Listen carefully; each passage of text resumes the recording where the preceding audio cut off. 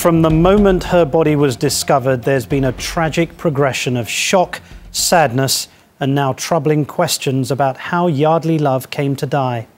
Were there warning signs that her former boyfriend, now accused of her murder, was capable of such rage? And what did the University of Virginia know of his prior offences?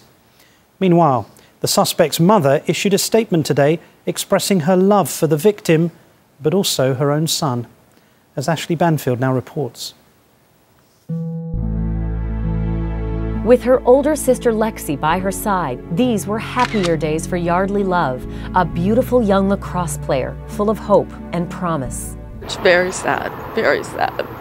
And imagine she was, you know, a few weeks away from graduation. I, I can't even imagine what that must be like for her family.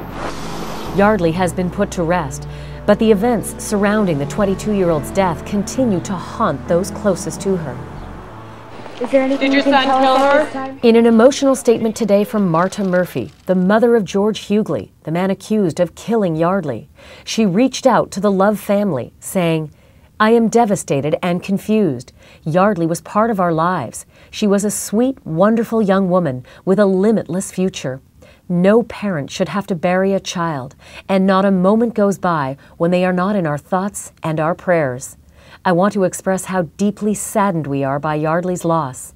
Also, as a mother, I hope that people can understand that both George's father and I love our son. On the wings of the night. Yeardley's death has sent shockwaves through the university and throughout the state of Virginia. The governor just today meeting with the university president to discuss this murder and how to prevent another tragedy. Our job as, uh, as Virginians and as leaders is to look at uh, any tragedy, as we did with Virginia Tech, as we do with uh, things that happen throughout this Commonwealth, to try to find out in the wake of a tragedy how can we do things different? How can we do things better? A question many in the community are asking. I just really want the message to go to women, especially in college, that you need to look for signs. On the surface, few would believe there were signs. George Huguely was an All American in high school and an MVP before attending UVA. It was more important that we won as a team today. We've tried really hard to win. During his four years at the university, he was vice president of Operation Smile and was popular among friends and teammates. But under that veneer, trouble was brewing. And although the university says it knew nothing of his brushes with the law, a rap sheet was growing. In 2007, an arrest for underage possession of alcohol and a citation for reckless driving. In 2008, police reported an altercation while on his family's yacht in Palm Beach. According to his father, there was yelling and screaming, and that Huguely jumped overboard and was rescued by passing boaters. And in 2009, a conviction for public intoxication and resisting arrest, a crime in which he scuffled with a female officer, allegedly threatening her life. She ultimately used her taser to subdue him. We did end up on the ground at one point.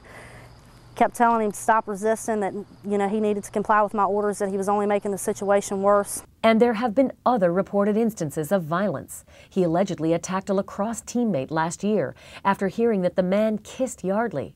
And students say within weeks of her death, Yeardley had to be rescued from an attack by George.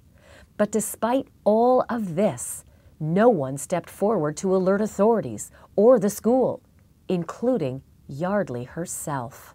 There certainly is an atmosphere, particularly in athletics, where boys will be boys.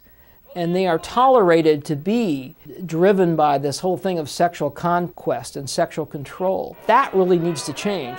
They should be more cautious of allowing people with violent crimes onto campuses. It's something the school and the governor are now addressing head on, working towards legislation that would notify schools if their students are arrested. The president spoke directly to Huguely's dark past. Information of that kind would have lit our system up, uh, simply because students who who do those things and we know about it find themselves under interim suspension immediately. But even with the legislation being discussed to warn schools when their students are involved with police, many say there's only so much you can do.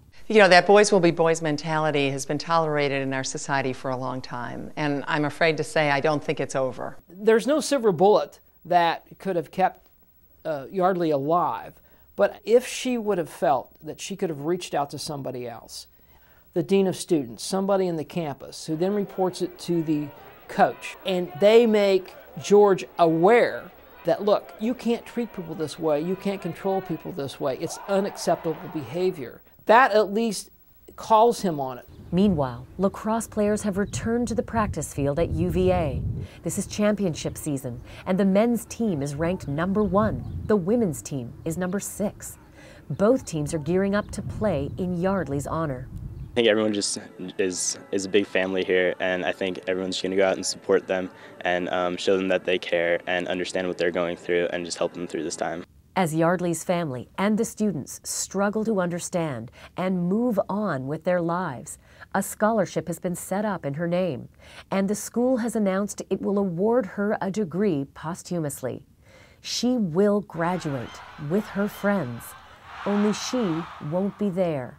Just a memory frozen in time of a dazzling young woman who left her mark on a campus left in grief.